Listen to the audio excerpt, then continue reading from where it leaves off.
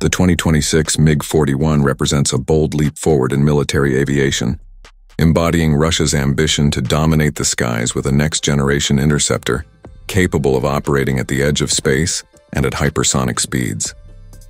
Although still shrouded in secrecy and speculation, this aircraft is widely believed to be the successor to the legendary MiG-31 Foxhound, designed to counter emerging threats such as hypersonic missiles, stealth aircraft, and even low-orbit satellites. Officially designated as the MiG-41, but also referred to by its developmental name PAK-DP, Prospective Air Complex for Long-Range Interception, this jet is being developed by the Mikoyan Design Bureau under the umbrella of the United Aircraft Corporation. While Russia has not released comprehensive technical documentation, numerous defense analysts leaked reports and statements from Russian officials have painted a compelling picture of what may become the fastest manned fighter jet ever built. One of the most striking aspects of the MiG-41 is its projected top speed.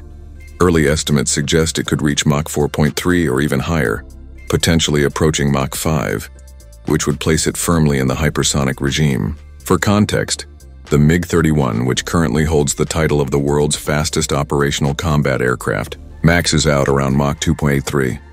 The leap to Mach 4 Plus requires revolutionary propulsion and thermal management solutions.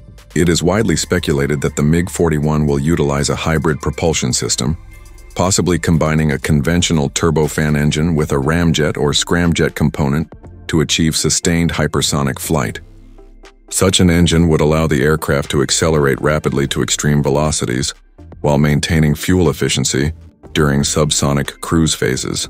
Advanced materials like titanium alloys and ceramic matrix composites are expected to be used extensively in the airframe to withstand the intense heat generated at these speeds, which can exceed 1000 degrees Celsius on leading edges. The MiG-41's mission profile centers on long-range interception and rapid response. With a projected combat radius of over 1,500 kilometers and a ferry range potentially exceeding 6,000 kilometers with external tanks, the aircraft is designed to patrol vast swaths of Russian airspace, particularly over the Arctic and Pacific regions. Its high-altitude performance is equally impressive, with reports indicating a service ceiling of up to 30 kilometers, well into the stratosphere. This altitude capability not only provides a tactical advantage in detecting and engaging targets, but also enables the MiG-41 to function as a platform for anti-satellite operations.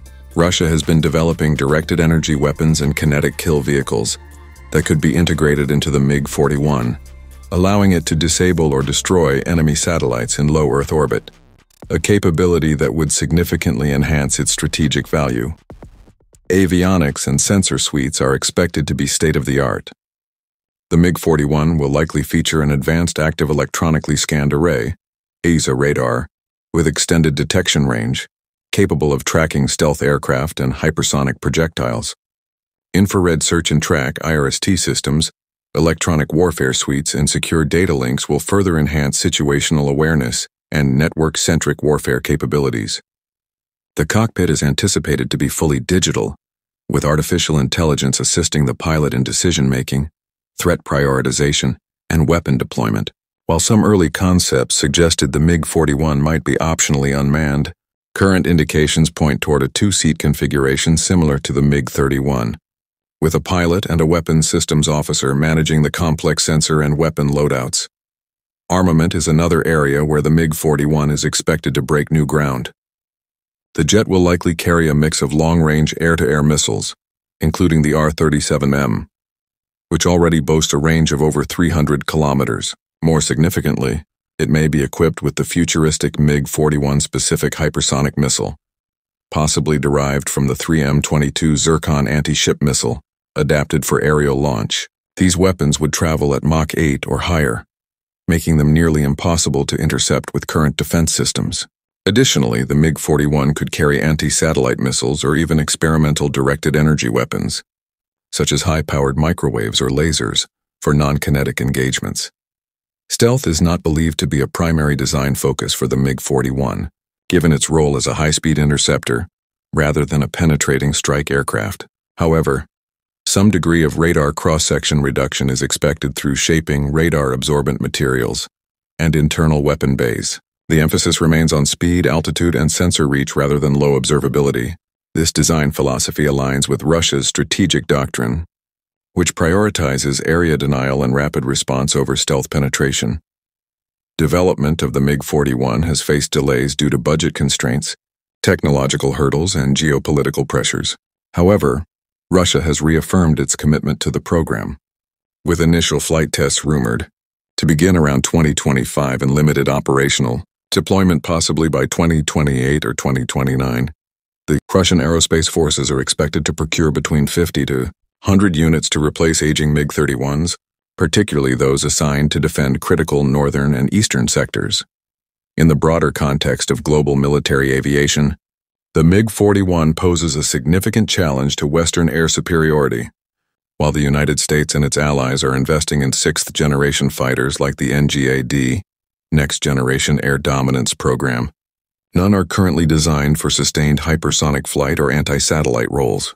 The MiG-41's unique capabilities could shift the balance in high-end conflicts, especially in scenarios involving space-based assets or hypersonic warfare.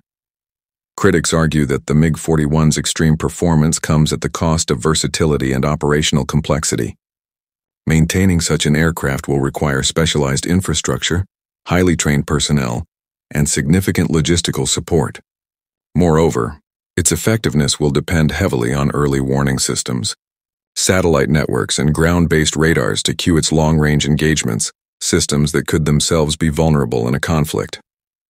Nevertheless, the MiG-41 stands as a testament to Russia's enduring ambition in aerospace innovation. Whether it lives up to its billing as the fastest fighter